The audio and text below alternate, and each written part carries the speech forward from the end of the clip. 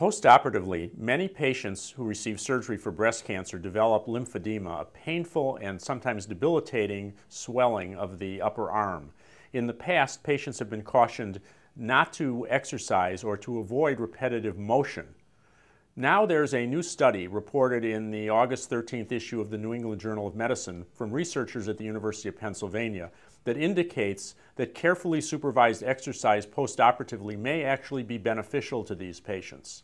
141 patients were entered in this randomized clinical trial in which half the patients received carefully supervised exercise with trainers and the other half continued their own exercise regimens or restricted exercise. The group of patients who had the supervised exercise actually had less of a problem with lymphedema and less lymphedema flare-ups. So it may be in the future that patients postoperatively will be put in carefully supervised exercise regimens which may actually be more beneficial to them. This is an important change in the management postoperatively of patients with breast cancer.